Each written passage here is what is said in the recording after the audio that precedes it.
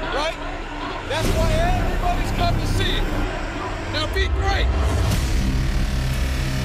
I mean, no secret these two teams don't like each other. Another nail biter here in this rivalry.